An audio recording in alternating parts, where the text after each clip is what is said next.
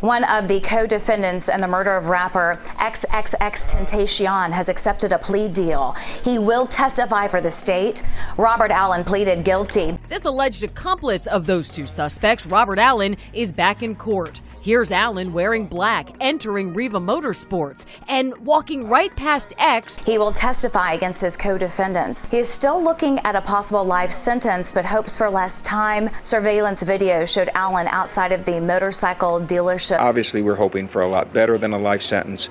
Again, his involvement much less than the others, more of an accessory after the fact than really part of the planning. know I'm a big star. So I go call me the I remember days used to ride in the look off. Now I go driving my Jaguar.